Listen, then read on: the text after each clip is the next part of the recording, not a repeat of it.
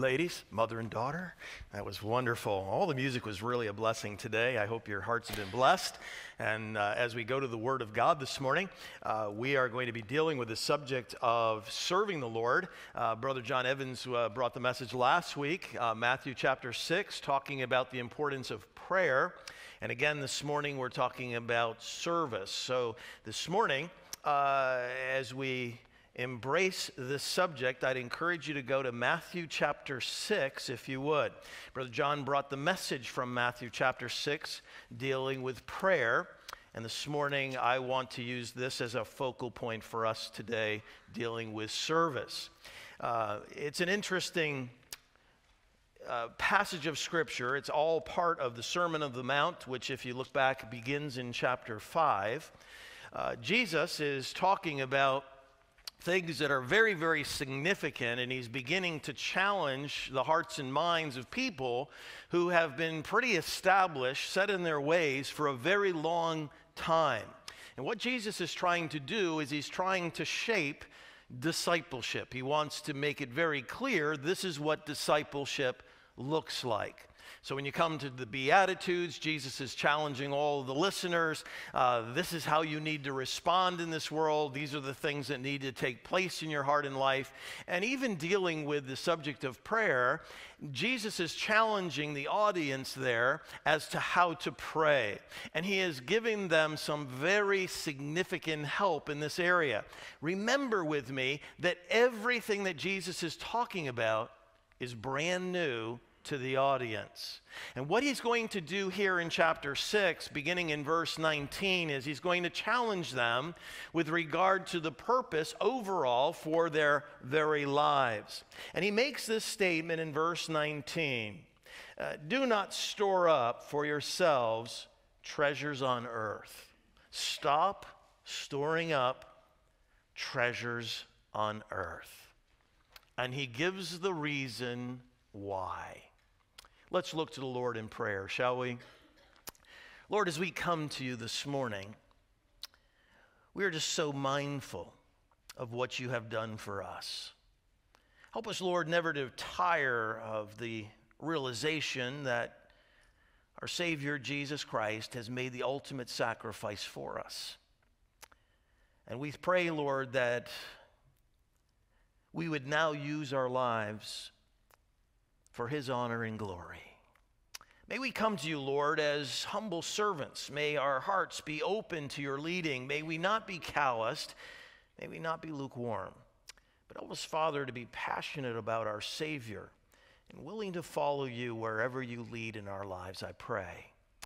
And I ask this all in Jesus' wonderful name. Amen.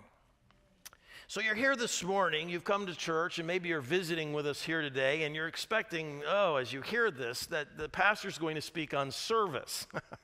and you're thinking to yourself, go, great, it's another message on filling the nursery workers list and uh, trying to accomplish, you know, this, this, and this, and uh, browbeat the people to try to get them to somehow serve. Well, service in the life of the Christian has been. Um, a topic that we've talked about for forever. I remember a letter that I received back in April of 1980. At that time, I was involved working for a police department, and I had the opportunity to, at this point in 1980, work on the police boat. Great job, I'm telling you. I was putting myself through college. My parents were not in a position to be able to help me. I had just left my best friend's uh, eh, father's uh, business and come over to the police department because I got a raise from $2.35 an hour to $8 an hour. And that really helped when you're trying to put yourself through school. I also had a minimum hourly uh, uh, time frame of 48 hours, which meant time and a half for at least eight hours every week. I worked six days a week for the police department. In the summertime, there was no exceptions to that rule. And so uh, the pastor decided that he would come to me, however, at Christmas time, and asked me if I would be the youth pastor for the summer at the church. And of course, my priority was that I would have to fund myself through college. And so we talked about it, and, and I was to some degree agreeable. Now, when you talk about service, And there's three points in the message here this morning. When we talk about serving the Lord, the key question in all of our minds is why should I serve the Lord? I mean, why, why should I do this, right? I mean, this is the main question. Uh, there's going to be a, a second point, which is what should I do? And a third point, when should I do it? But why is the main question? So, this is the letter that I received from the pastor of the church. She said the deacons agreed unanimously last evening to budget $500. That's $50 a week for 10 weeks for you this summer. I do not, he says, believe that that is as much as we talked about, but it's all we can do. Will you be available for 10 weeks at $50 weekly? He says. The most that I can feel that I can ask you to work per week is 20 hours. Perhaps he says this will allow for you to pick up a decent second job. Now, here's the job description. Here's the duties. There really wasn't much to it. Have a weekly Friday night activity that's weekly Friday night activity for the youth, Operation Outreach or otherwise. And if you outreach, uh, that was quite a big deal. Have a Sunday evening youth chapel after church every other week at least. You may have them weekly if you like. Spend eight hours per week visiting the young people and having one on one Bible studies with them. When there's no specific person to visit or contact, you'll be given door to door areas to cover to make up for the full eight hours. I would like you to have at least two hours per week in door to door visitation. In addition, he says, I want you to attend the senior high youth camp in June 23rd to the 28th. And then he puts in parentheses, you know, your way will be paid.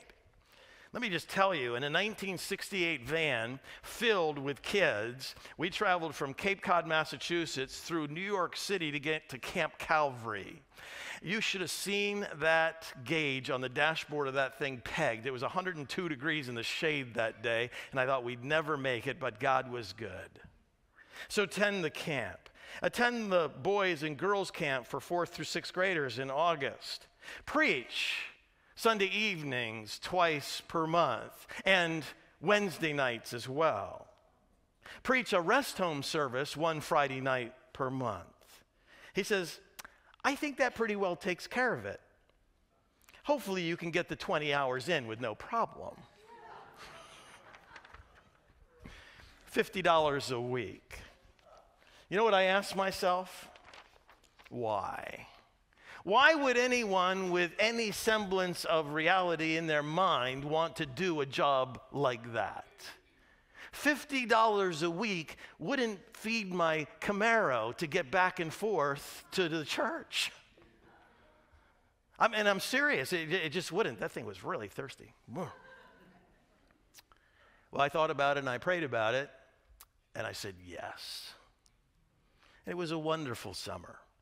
The opportunity to bear fruit was, was abundant. And working with the kids was a tremendous blessing, and I learned a lot. I was very busy that summer. When Jesus addresses the audience in Matthew chapter 6 and verse 19, he calls them to answer the question as to why. Why should you stop doing everything that you're doing and follow me? Remember, that was the challenge to the disciples. Come, leave your fishing boats and come and follow me. And Jesus' question and his challenge to them was met by those disciples saying, Uh, they immediately left their nets and followed Jesus. What compelled them to do that? What, what registered in their mind so that they would say, Yes, I will leave all of this behind and I will determine in my heart to follow Jesus? Matthew chapter 6 lay up treasures, Jesus says, in heaven. And he gives a, a reason for it. He gives the reason, and he's basically saying, to answer the question of why, it's because it's the greatest investment that you can make. Jesus says the problem with these things that you store up on earth is that moth and rust comes and destroys. Thieves can break through and they can steal it all. You see, these things are not really very secure. All the treasures that we lay up on the earth can be done away with. Uh, the Solomon would say that you know money is like uh, able to sprout wings and fly away. And the point is that even if someone doesn't break into your house and steal your favorite whatever, the reality is that we leave all of these things that we do here on this earth behind when we go to our heavenly abode. You're here as a follower of Jesus Christ, you're going to answer the question What am I going to do? Why would I be compelled to use my life to serve Jesus Christ? You see, the problem that we struggle with, the tension as it were, is we like to see things now. And we like to enjoy things now. And Jesus seems to always be teaching about the future. Look back with me in Genesis in chapter 25. I just like to point out the example of a man by the name of Esau. Now, when you go to Genesis chapter 25, uh, you're basically dealing with a passage of Scripture. Um, it's a busy time in the Scriptures here in Genesis. We have the patriarchs. Um, when you think of the patriarchs, you think of Abraham and you think of Isaac, and then you think of Jacob. Uh, the latter, Jacob, has a brother, and his name is Esau. And the Bible tells us that they're very, very different. It, it's interesting because you, you know the whole scenario here, and uh, we have um, uh, a struggle at birth, as it were. And the Bible would prophesy that one uh, is going to, the older, shall, shall serve the younger. And this is how this develops. In verse 22, it says, When the boys grew up, Esau became a skillful hunter, a man of the field, but Jacob was a peaceful man. He lived in tents. So there's a difference between the two in their personalities. And the Bible quickly points out that Isaac loved Esau because he had a taste for game. And because Esau was a hunter, he would bring his father good things to eat. Rebekah, on the other hand, she loved Jacob. And so you have favoritism in the family, and we won't go into all of that this morning. But it came about that there was a time when Esau was out in the field, and the Bible says he was famished. And he came to his brother, and he said, Let me have, please let me have a swallow of that red stuff there, for I'm famished. Therefore, his name was called Edom. Edom is the red stuff. But Jacob said, pretty savvy on his part, first he says, Sell me your birthright. Esau said, Behold, I'm about to die here. Uh, so, of what use then is the birthright to me? And Jacob said, First, swear to me. So he swore to him and said, Basically, I'm selling you my birthright. And Jacob gave Esau bread and lentil stew, and he ate and drank, rose up, and went on his way. Thus, the Bible says, Esau despised his birthright. Uh, so you get it clear. It's an opportunity for the younger Jacob to be able uh, to pull one over on his brother. His brother's been out hunting. He is very, very hungry. And he thinks to himself, please give me something to eat. And his brother jumps to the opportunity and says, Yeah, I'll, I'll give you something to eat. But uh, if you want something to eat, first of all, you're going to give me your birthright. Remember, God had made promises to the people of Israel. There was the Abrahamic covenant and the, the, promises of the descendancies and so forth. And so the birthright was very, very significant. When you think of those patriarchs, you think of Abraham, Isaac, and Esau. No, it's Abraham, Isaac, and Jacob. It was a very big deal, but the Bible's very clear to point out that when it comes to Esau and how he views this birthright, he despised it. It was worthless to him.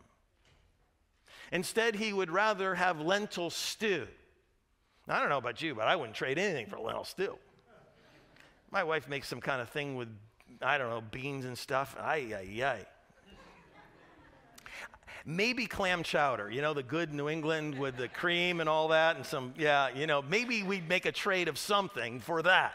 But I am no way I wouldn't trade Well, maybe I'd trade the dog for Lennel. But anyway, the point is, Esau is looking at what he can have right now. He is not looking at the future. And this is what Jesus is trying to convey as he begins to, to teach his disciples the rudimentary principle of following him, which is you need to lay up things in heaven that are going to last for eternity.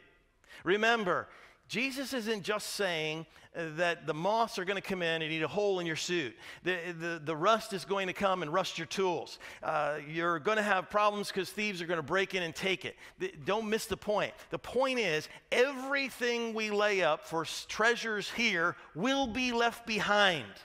You follow me? And so, in effect, the thief gets it. You say, no, they're not. I'm going to pass it down to my kids. First of all, your kids don't want your stuff. Number two, it doesn't really matter. They're going to leave it behind themselves as well. So, so none of those things matter. What really matters is what's up in heaven and what's laid up there throughout all eternity. That is your big key.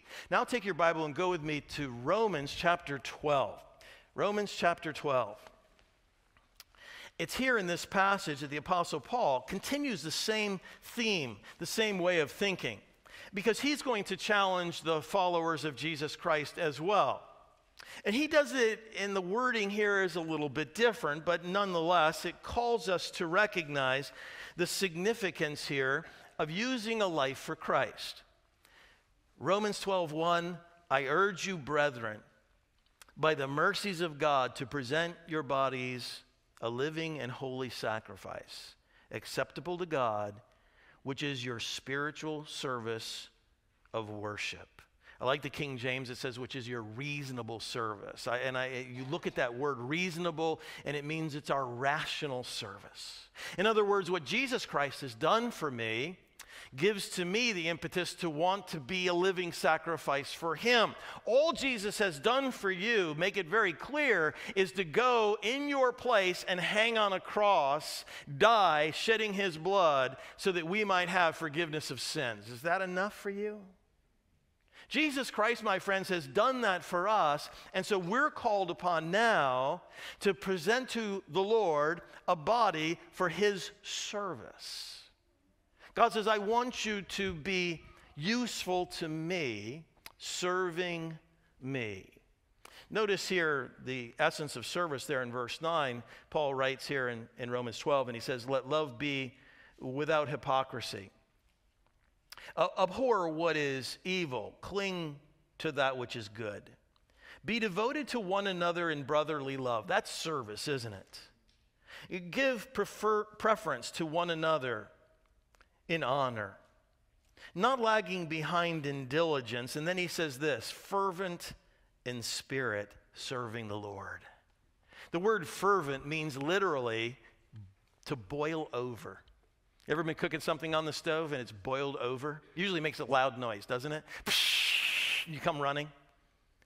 Uh, when something boils over, it means that the water can't be contained in the pot. It's going to come out.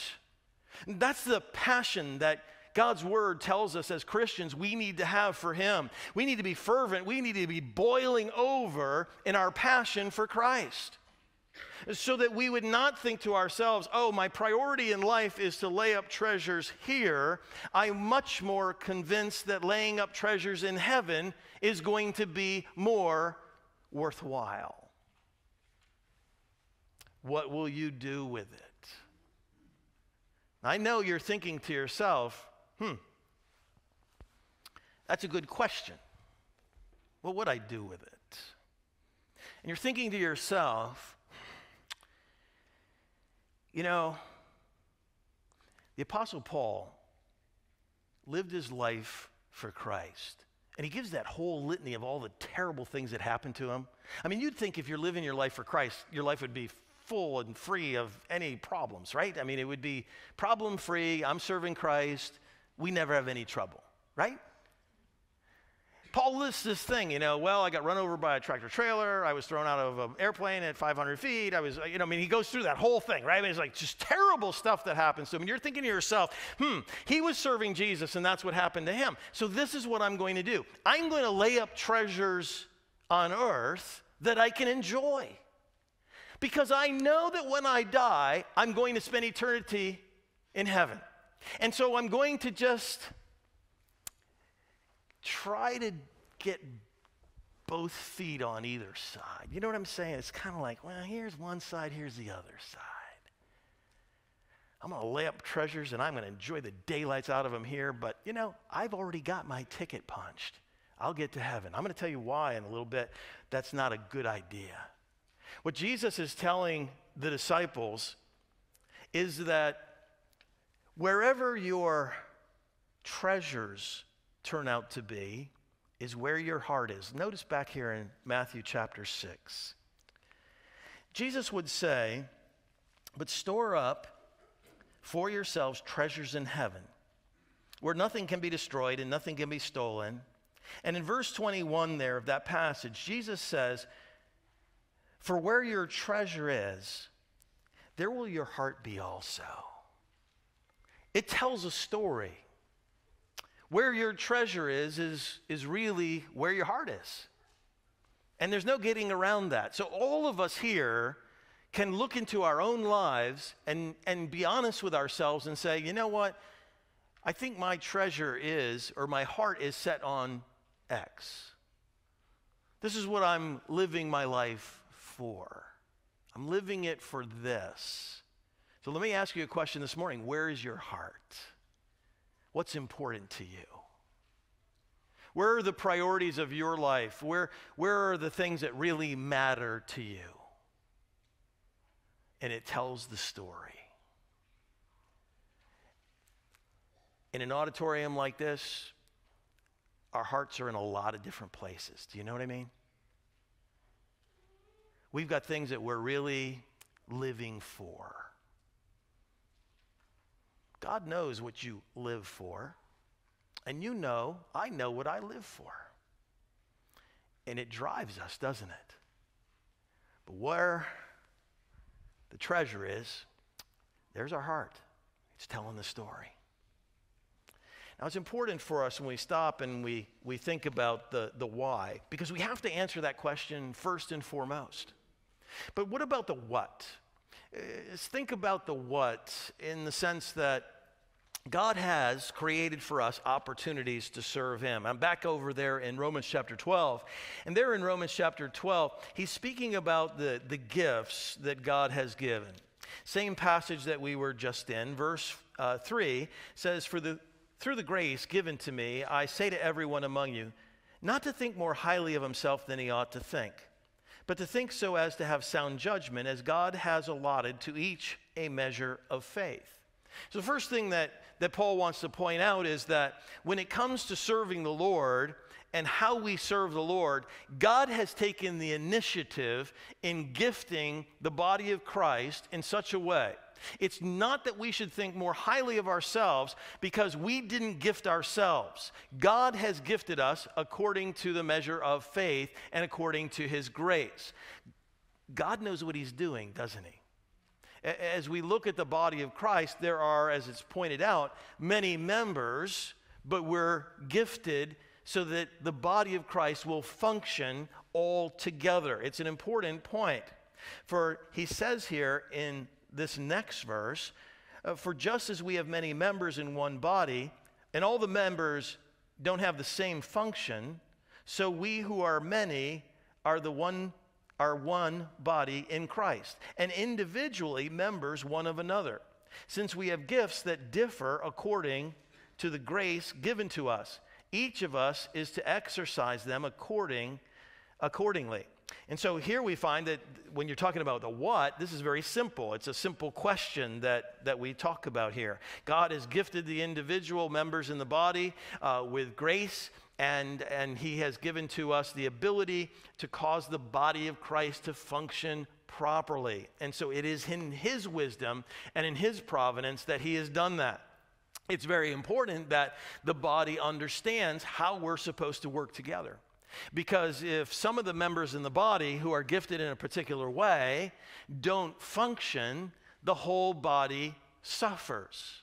Let's just say you start your car up on the way to go home this afternoon and you say to yourself, hmm, uh, you know, the, the starter engaged, that was good. Radio came on, that's always good. And then you sit there and you think to yourself, this is wonderful, the, the, the motor's running and this is great. And you put it in gear and the transmission's working and that's great too. And you get down the road and you realize the air conditioner's taking the day off.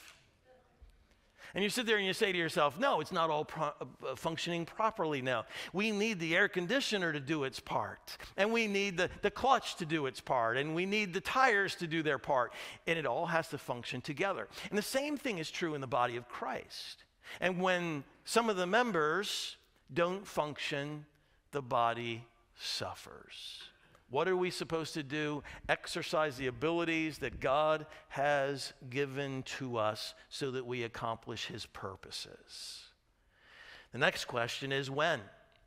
When should we do this? And let me just read a couple of verses for you. John chapter 9 and verse 4, when Jesus is teaching, he says, We must work the works of him who sent me as long as it is day. And Jesus points this out. He says, The night's coming when no man can work. You can't work. There's an opportunity to serve the Lord, and it's a, an opportunity today. Now, the church is filled with good intentions. People, people are always having good intentions.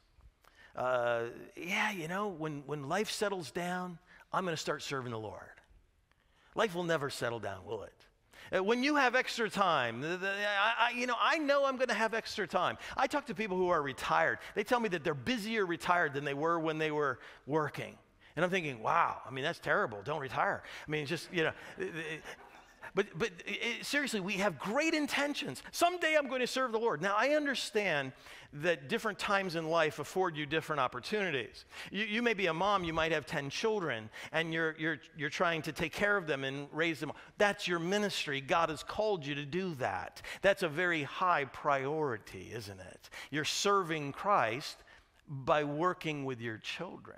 You see, all of us need to have a life that's passionate about Christ and focused on the Lord, it's going to take a lot of different uh, aspects. And so we want to be doing that, and we want to be doing it right now. One of the things that frustrates me, I can be honest with you, I get around a lot of Christians who tell me what they used to do.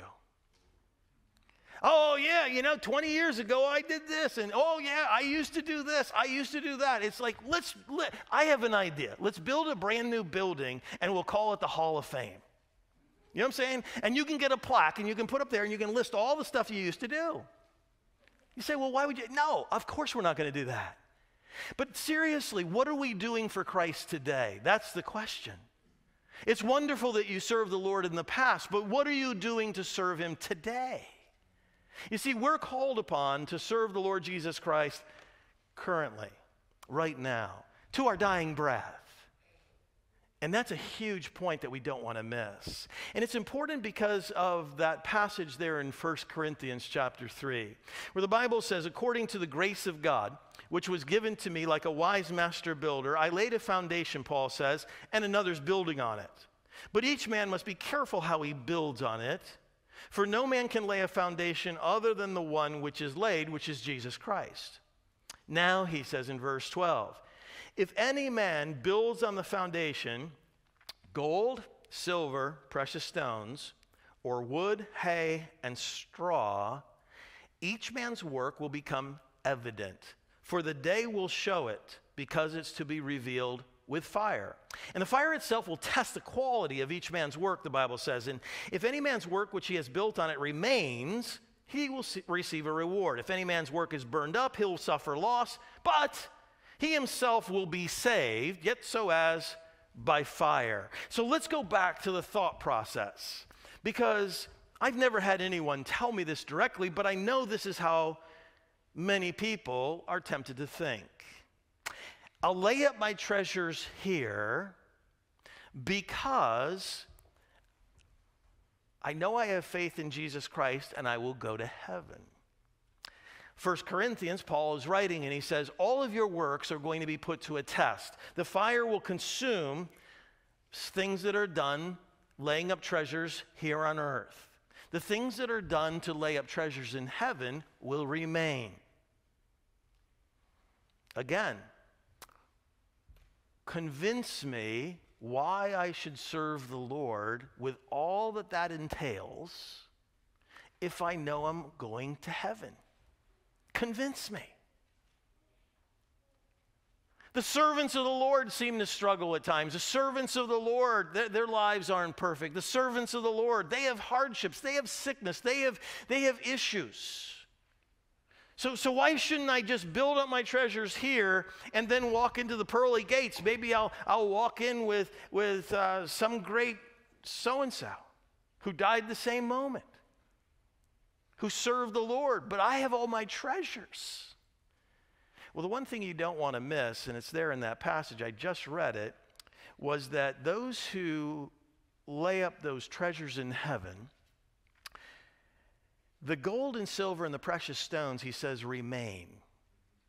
And those things which remain are indicative of future rewards that will be in heaven. You see, that's the one caveat that's missing, isn't it? And the Bible doesn't explain what those rewards are, but I can tell you this much they last forever. Versus lentil stew. Many people are living for the lentil stew and not for eternity. And we have become so conditioned to live for the now, to grab everything we possibly can, we forfeit the future. I want you to know that you heard it here on this day. So if you decide that you're going to lay up treasures here on earth and walk through the pearly gates, you can do that. But understand, don't come crying to me when you get up to heaven and you got no rewards because everything was burned up and you're looking around at all these people that serve the Lord and you thought to yourself, oh, I wish somebody had told me to serve Jesus. You should serve Jesus. You should serve Jesus. And our service can be as significant as leaving Gambrills and going to the mission field or not.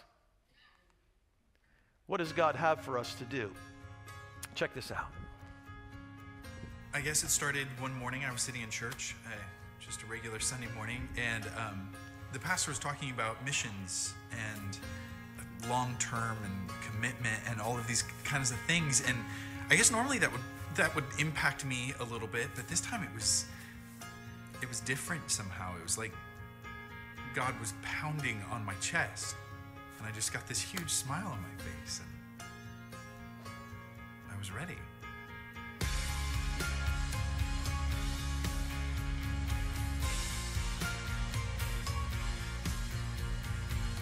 I just started looking at my life and asking myself, what would it look like for me to be on mission all the time? Devote my life to that and become a missionary, I guess. I remember growing up in church that missionaries would come visit. I was just always captivated by their stories. And I knew that there was a, a, world that was so much bigger than my backyard and that there were people in that world who needed to hear about Jesus. And I just, I've always wanted to get out there and have the ability to, to tell people about Jesus and see that transform lives. I just kept hearing the same words planting seeds, nurture, water, tend, person by person, life by life. Don't wait. You're ready. Just go. I felt like I was kind of waiting around like, is this something that God would call me into? And, and when would that happen? Where would I go? What would it look like? And then all of a sudden, it was like this lightning bolt. Like, there it is. There it is. It's, I mean, it seemed almost obvious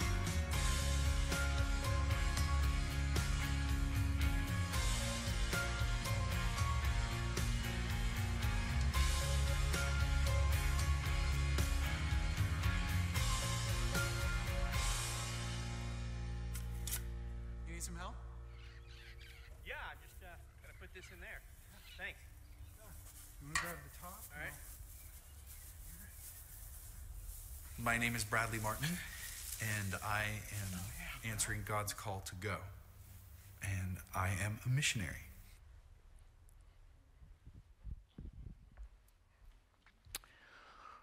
Well, understanding that we are missional is an enormous victory. Living like we have a mission is huge for us as individuals. The church needs to be understanding that we're not here to just become equipped and never minister.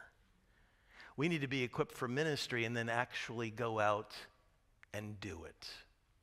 We have uh, a ministry fair today. You say, well, what is that? There's all kinds of tables out in the foyer, and you can go out there and you can acquaint yourself with different ministries and some of the different things that are happening and you can certainly sign up. We will take your ink any time of day um, because there are opportunities.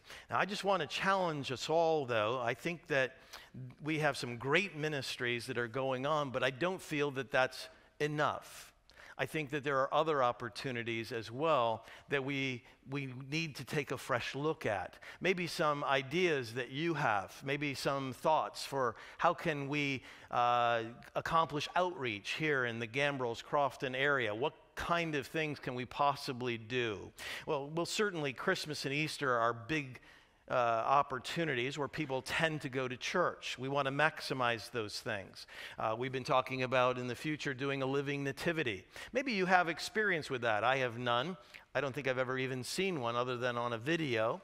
Uh, but they are effective tools for sharing the truth about Jesus Christ. Uh, maybe you'd be interested in a softball team that has an evangelistic twist to it, where we try to bring people from outside the church to come on the team and have the opportunity for evangelism. Maybe it's a senior adult ministry uh, that you feel uh, the Lord is leading you to, to be involved with. Uh, maybe it's serving the Lord, and maybe it's on a, doing something as a deacon here at Faith Community Church. We have a need for deacons right now. In fact, fact, in your packet of information, according to our new bylaws, you have the opportunity, if you're a member, to nominate someone uh, for deacon, and that nomination will come to the elder board, and the process uh, will continue on there.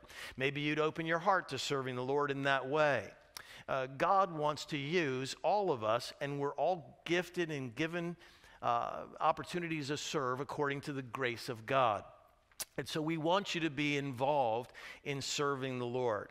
We want you to be a member. There are certain things that you've got you can do. You can join the missions team if you're a member, uh, but you have to be a member. And we want to make it as easy as possible to be a member here at Faith Community Church. You can actually go online. Yes, you can go to the discovery class and they'll help you understand it.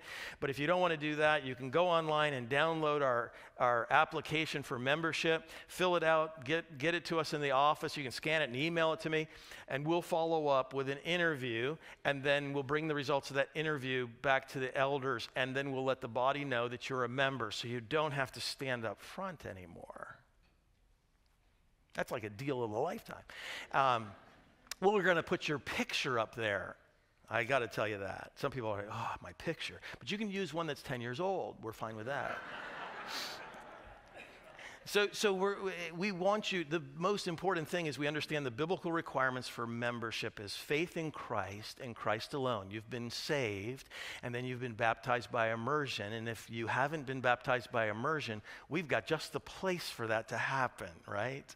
And so there, there should be nothing that keeps you from uh, coming alongside of the ministries here at Faith Community Church and becoming involved. Now, what I'm going to do is I'm going to be out at a table in the back of this uh, auditorium, and there are all kinds of blue pieces of paper that say ideas. And we challenged the first service, and people gave me all kinds of ideas uh, for outreach and so forth. And so things that people are saying, well, I'd love to see us be able to do this. And there's a lot of things that I don't even know exist. And, and maybe you've got a burden on your heart. I, I can't say that everything's going to be done, uh, but but we want to hear and we want to be able to look at these things freshly and be able to move forward. And so it's an opportunity for you to be able to, to say, hey, uh, here's an idea that I have, all right? And so you can meet me afterwards. Uh, I'll be back there and be more than pleased to talk to you uh, about some of these things that we might be able to be effective servants of Jesus Christ. Let's all stand, shall we?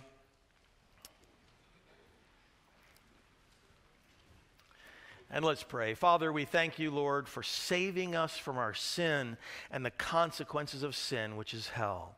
Oh, Lord, I pray that if there's someone here this morning that's not sure about where they're going to spend their eternity, that they would, they would make the choice to place their faith in Jesus Christ and in you alone, Lord, knowing then that they have had their sins forgiven. And God, we pray for those who are disciples of Jesus Christ, followers of the Most High. May you help us to see that the best thing that we can do is to lay up our treasures in heaven. May our heart be set on heaven, for that's where our treasures will be. May we be bubbling up, fervent in spirit, passionate about Christ. And may that truly be the driving force in our life. Give us, Lord, a vision for the future. Help us, Lord, to reach out and meet the heart needs of people in our own community, people who have yet to even hear the gospel of Jesus Christ. So bless, Lord, I pray, each one. May the days ahead that you give us the opportunity to serve you in be taken advantage of, I pray. And I ask it all in Christ's precious name. Amen.